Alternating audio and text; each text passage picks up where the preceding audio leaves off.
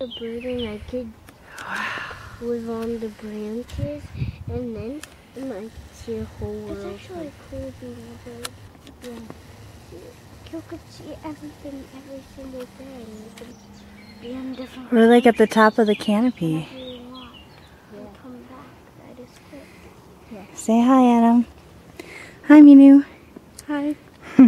Say hi, Kiria. Hi. Hi. Hi. Hi, guys.